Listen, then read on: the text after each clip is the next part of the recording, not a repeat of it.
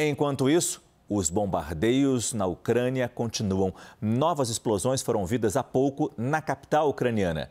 Já Moscou acusa Kiev de um novo ataque com drones. Moscou foi novamente atacada e a Rússia uh, lançou um bombardeio num centro médico na cidade ucraniana de Kherson e em áreas residenciais numa outra cidade, em Kharkiv. O enviado especial da CNN Brasil, Américo Martins, está exatamente em Kharkiv e traz para a gente uma reportagem exclusiva. Os russos lançaram um ataque com sete drones contra a cidade de Kharkiv, uma das mais populosas da Ucrânia. Dois drones atingiram e danificaram edifícios e uma pessoa ficou ferida.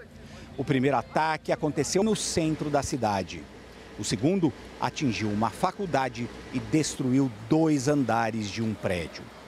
O segurança do local, um homem de 63 anos, ficou ferido e está hospitalizado. Kharkiv fica a apenas 40 quilômetros da fronteira com a Rússia e tem sido bombardeada intensamente desde o início da guerra. Os prédios aqui mostram a ferocidade desse conflito. Ainda nesta terça-feira, um médico morreu e uma enfermeira ficou ferida em um bombardeio russo contra um hospital na cidade de Kherson. E a guerra parece estar escalando.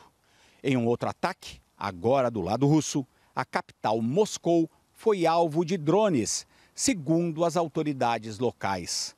Um edifício no centro da cidade teve as janelas dos últimos andares danificadas, mas ninguém ficou ferido.